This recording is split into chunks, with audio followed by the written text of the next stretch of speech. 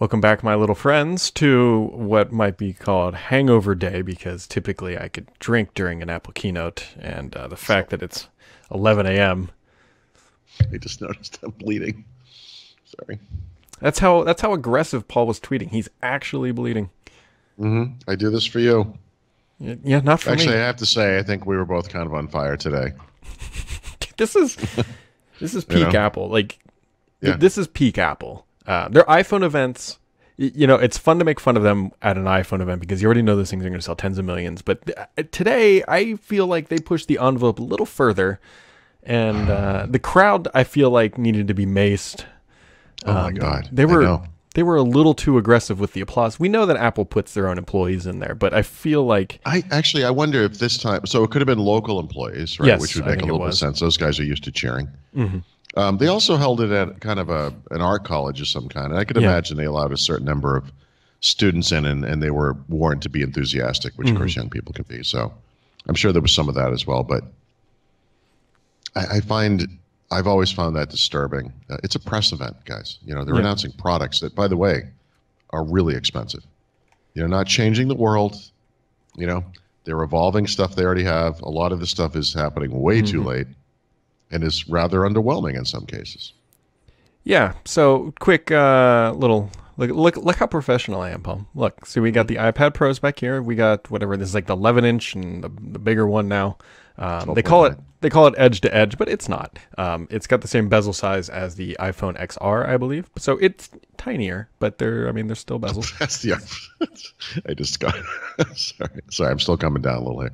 Uh, yes, it is about the same bezel size. And then we've got the new MacBook Air, same name. Um, it- basically, kind of everything. There's nothing overwhelming about this Retina display. Similar. I, I'll just say this. I, I, I kind of made fun of the bezel size on the Mm-hmm. MacBook Air when I first saw it. Actually, looking at it now, I think that's perfectly acceptable. That's a the style of that device is nice. Yeah, it's fine. Um, people Yeah, were a little, I little enthusiastic about it, but it's it's fine. It's fine. It's got the colors. It's you know whatever. Obviously, the keyboard's going to be a problem. They referred to it as a third gen keyboard. Um, you know, we'll see. It's going to be loud. It's going to be you know dusk dust uh, averse, whatever. Um, Retina display, obviously great. We had like two USB C ports. Like I just pointed out. You know, in fact, I have it here in front of me. The the USB the um, the HP EliteBook X360, which by the way transforms into a tablet and blah blah blah whatever, has is the same weight as the MacBook Air. It has a real USB port over here. It has two USB-C ports, one of which I think is Thunderbolt 3, if not both. Also, full-size HDMI out. You know.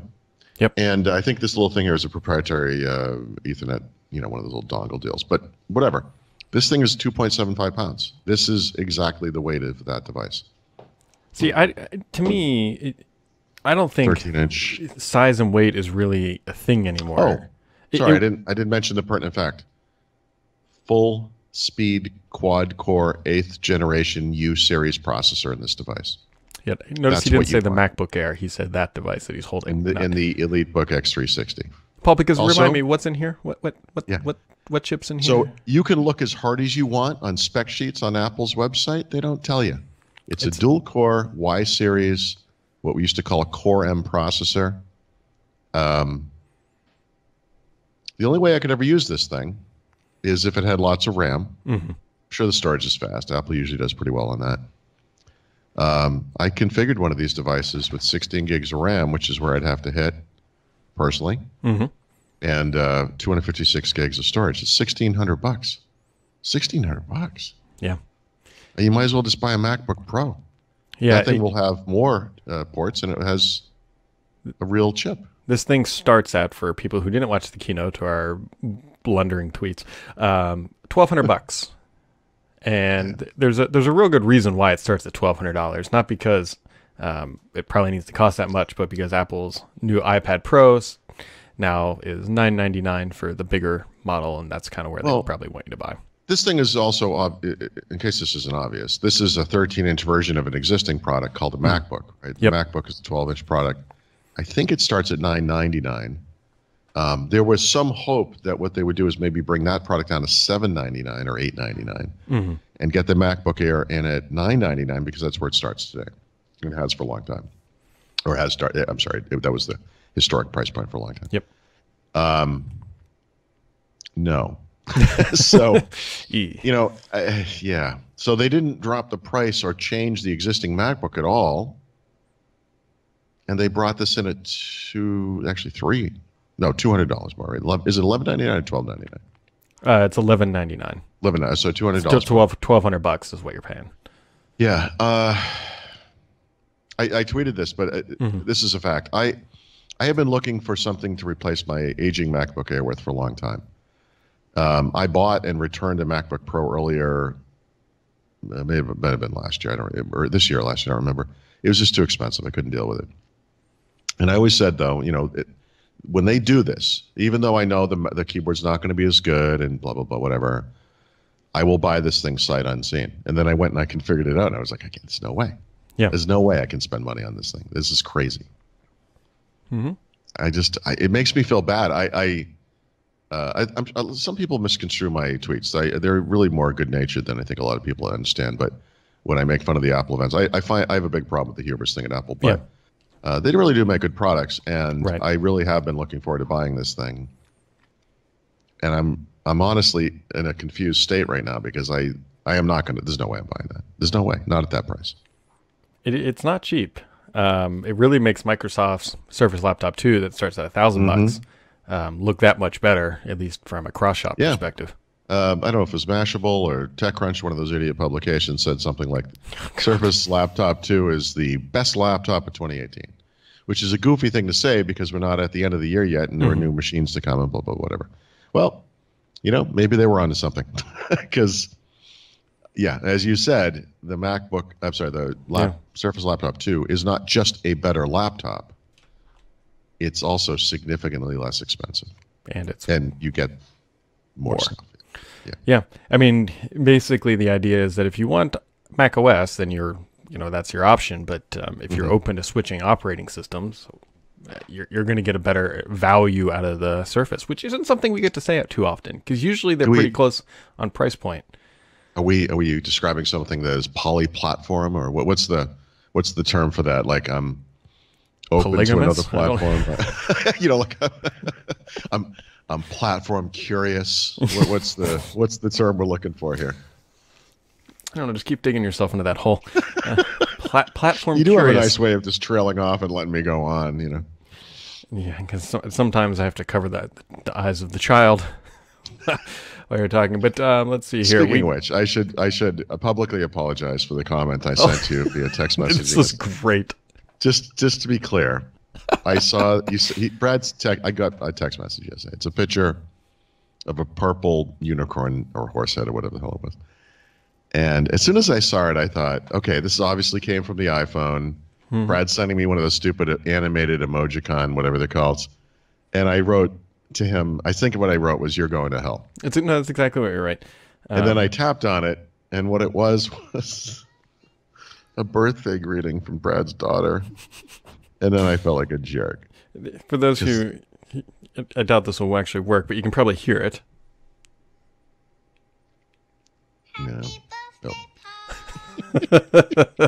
so And his it went from being the lamest thing you have ever sent me to being, oh, that was nice. My daughter wanted to say happy birthday, and I looked at her and said, "Paul said you're going to hell." Um, I did not I- actually tell her that.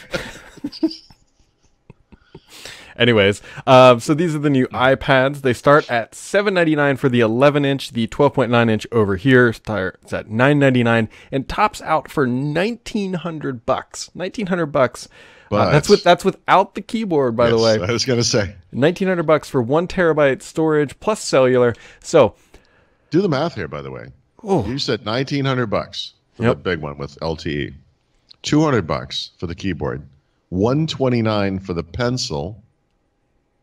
What you're looking like What's twenty this? three hundred bucks when you toss in tax and everything else. Yeah, I have purchased cars for less money than well, given the um, given the recent news of my vehicle yesterday, we were, I was just randomly looking at like leasing a Honda Accord or something, and Yeah. the required down payment for a lease is in fact actually about twenty two hundred bucks. so Yep.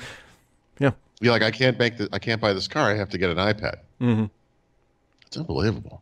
Now you can spend a lot less than that, but what Paul and I were looking at right before the show, the the key here is that Apple jacked up the price on all of the accessories. So the smart keyboard last time around, which was a smaller size, uh, was one fifty nine. Now. Uh, For the 11 inch smaller size one, it is now 179, so 20 bucks more there. And if you want to buy the Big Daddy for this one up here, it's 199, and then the pencil is I think 129 now versus 199. Hey, It's crazy. it- it's It's crazy. yeah. I, I mean the, the it is more expensive to be an Apple fan. We've we joked about in the past Apple tax, but for a while it wasn't so bad. Um, but they've definitely come back full force here. Well, right, because uh, you know I'm going to write about this today. I mean, so let me just screw up the editorial I'm about to write. But the the thing that you just pointed out is very important because in the past, Steve Jobs and other people from Apple have made the argument that like let's just talk about the Mac for example. You know, they would say, well, yeah, sure. You know, the MacBook Air costs twelve ninety nine or whatever, um, but our competitors sell these lower end products that are crap. We don't play in that market. We don't sell crap. Yeah. Uh, and if you look at the products you're selling that are actually directly competitive with ours, they cost about the same in some cases or even more. Flash forward to 2018, that product is crap. That has a Y series processor in it. That's crap. That, that has no business being in a product that sells for that much money. But when you compare it to Apple's previous products, it's also crap. They, they are. I, some Rich Woods was talking about. You know, I want to see someone compare the Core i5 processor in the five-year-old, whatever it is, MacBook Air with this thing, and would not be surprised, neither, nor would I, to find out that the old one actually performs better than the new one. But it, it, and it's not just the ports and the you know the price and it, it it's everything. Or you compare the uh, the Mac uh, the iPad Pro, the 10.5 inch version just came out a year ago. The the, the pencil was nine ninety nine bucks. It's 129 now for some reason.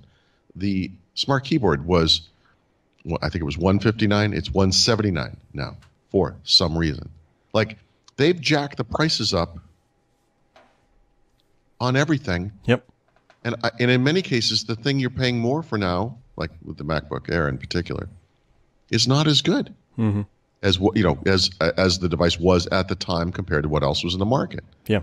You know, the MacBook Air, you know, was revolutionary in in a, in a way when it first came out. It, people forget the first version was a piece of crap and it had little flap down thing we could get at the USB port. It, it- the MacBook Air everyone knows and loves is not that device, but a year and a half later or whatever the time frame was, they released the one that we all, uh, you know, the PC market has spent the last several years emulating, and Apple has spent the last several years not upgrading. Yep. You know, it was a big deal at the time.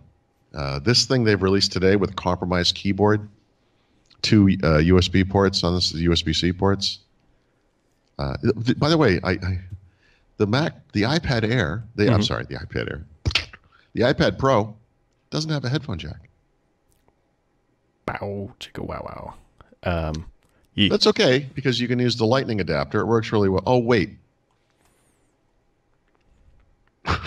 like what? wow. Yeah. Yep. And they've switched to USB C, so you've got that too.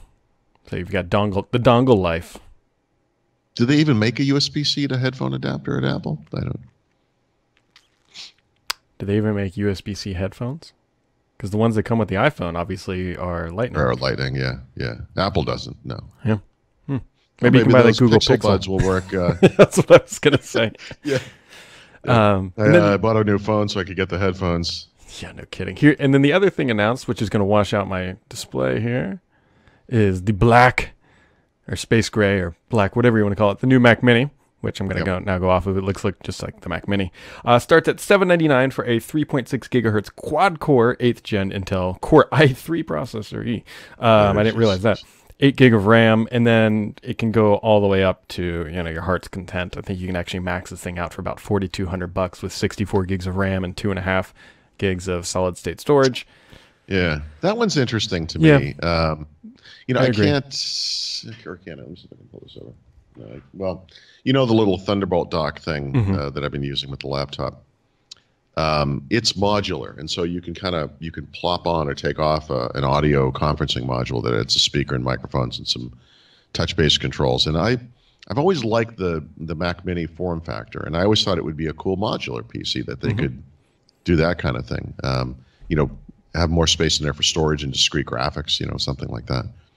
Um, I'm okay with the Mac Mini. I, I, I think they've scaled it up to kind of a weird degree. Yep. And I think part of it is this uh, nonstop apology to our Apple's doing for the Mac Pro. Mm-hmm. But um, 799 for a Core i3 is, you know, again, it's the Apple tax. It, it, it's, uh, you know, whatever. But I've I, I've always I, I, I have I guess I have less problem with this than I do with the other products. Um, I've always liked the idea of the MacBook Mini, uh, the Mac Mini. The, the Uh, interesting thing here is they they only offer two CPU options, an i3 or an i7. There is no i5. So that's curious. yeah, That's really curious. Why not just have I? I okay. I, I don't make the rules. I just report what's on their website. So, but I do agree. Of all the things announced, the Mac Mini is probably the most interesting because it seems to be not exuberantly priced like some of the other stuff. Well, are you in front of it now? Can you? What Yeah. would a Core i7 with 16 gigs of RAM and you know whatever 256, 256, you're looking at 1500 12, bucks. 15, really 1500. Yeah, but to get So to go from the Core i3 to the i7 must be what 400 bucks or something. it's 300 it's 300 bucks to go from that uh 200 bucks to double the ram from 8 to 16 Yep. and uh 200 bucks to add to go from 128 Yeah. to 256 It's the same on the, the laptop. It's 200 bucks for the same upgrades each. You know. yep So you just described $700 worth of upgrades. yep processor, storage, and RAM. Yeah, that's actually a lot of money. I mean, I, I, seven ninety nine for a Core i5, eight gigs of RAM and one twenty eight. Yeah, i three. I don't know. i still wish that they would have um i don't know added a trackpad to that keyboard for the for the ipad pro Well, that would that would require um, a major update to the software, obviously, and to the platform. You know, and it would. It, Yeah. if when you think about um, what it is taking them to bring iPad apps to the Mac, they would have to essentially do that in reverse on the iPad, and I, I actually think it's kind of a bigger job. Um, I, I do agree that it's necessary, by the way. Um, but we would have seen hints of that, you know, in iOS 12 uh, after WWDC. I mean, it, I don't. I do sort of feel like they ha- can't escape doing it. yeah Um, I mean, the way they're trending, it seems, because they're obviously Yeah. pla- placing that iPad Pro now as a low end laptop, which it uh, candidly is with the multitasking support and the uh, the new smart cover that has two positions, which I'm guessing are 22 and 26 degrees, pioneered by the Surface RT2. based on your experience with Surface devices. Yeah. Yeah. And, Um, the one thing the Surface has taught us is that a variable adjustable kickstand is a wonderful thing. yep. And when you see products that don't have that, you know, that they build the kickstand into the uh, keyboard cover, perhaps like the Qualcomm version of the X2, do, the Envy x2 does, or they do what Apple's doing here and they offer just a couple of positions. Um, those are huge compromises. I mean, what you really want is the ability to arbitrarily decide what the angle is because it's not just what's comfortable for you when you're looking at it. You might be in a room typing on something and there's a glare from over here. And if you just angle the screen just half a crack, Mhm. uh, everything's fine. And this kind of thing is just, it's just too limiting. I'm sure the lapability is fine. though. it. well, the, the, the top heavy nature of a tablet is, you know, obviously a problem as well. But I've, look, this thing could turn into a computer. We've just described everything it needs. Yep. Um, they, I feel, I really do think they're going to get there. But as is so often the case with me, I'm really surprised by how long it's taking. You know, Mhm. these things seem obvious to me, and I, I think they seem obvious to a lot of people. I, I bet they seem obvious to them. It's just they take their time, and it's th- there's no rush on their end. They're, what if if Yeah. they do it with iOS 13? Then Right. I don't know why this keeps surprising me. I just, Yeah. I'm always surprised when it doesn't yeah, I mean, this is coming from the guy who bought another Pixel and was upset that it was broken as well, like his last Pixel. I just- Is that that the one that's too far? No, I, I, I accept your rebuke. I did. It's true. I admit my mistakes. I'm not happy about. I'm not proud of this. yeah. You know, how's your iPhone working great? It's good. I was gonna play the.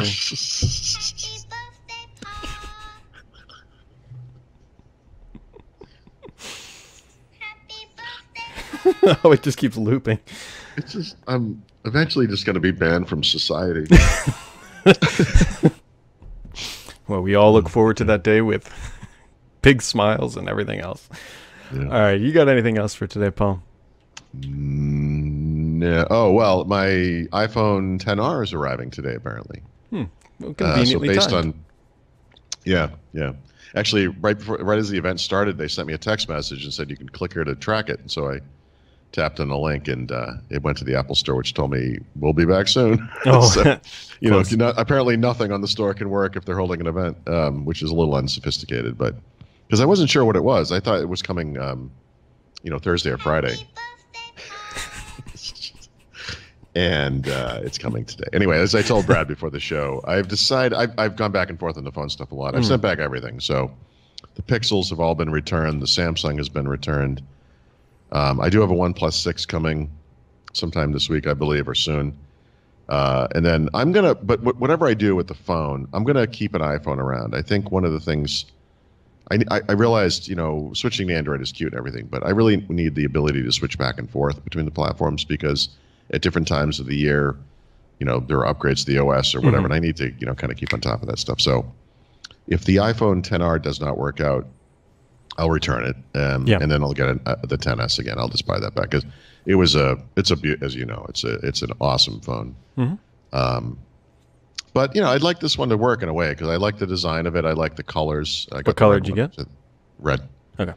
uh, which I think is kind of a cool color. I think it's a little odd, by the way. Apple does not sell uh, any 10R cases of its own. You know, they make those beautiful leather and uh, Oh, really? I don't know what the other ones are, the grippy polyurethane ones, whatever. Yeah. yeah, they don't make a single case for the iPhone. I wonder if they're, they're just And, not out. They've, they've got to. I mean, that's going to be their volume seller. I would think so, but they don't. So Hmm. that tells you a little bit about it. I uh, I'm going to make some comparisons with the iPhone 10R with the 10s, uh, for, with, sorry, with the 5C from years ago. Uh, once I get it, but and I, I don't feel like they're completely com- comparable, but there are some uh, there are some things to look at there. But it's a little weird, like you know they're kind of treating it like a second class citizen in some ways. Um, I did order a third party case. Uh, you know, you have to have a case, but we'll see. Well, lovely. Yeah. What about you, Brad? What's what else aside from bashing Apple all morning? What else you got going on? Today? Um, well, we've got a webinar coming up on Petri this afternoon. You could join us, Paul. Oh, I'd love to, but um, yeah, I'm not going to do that. He's always always so mean. So actually, I'm take doing the uh, what the tech later today. Yeah, yeah, sure you are. Uh, so that takes up a sizable chunk of the afternoon, and then uh, yeah, that about wraps it up. So- All right. Enjoy. All right, everybody. Well, thanks for tuning in for today on this Apple edition. We'll probably have a hangover episode tomorrow, as we always do the day after. But uh, have yourselves a wonderful Tuesday, and we'll catch you right back here next time.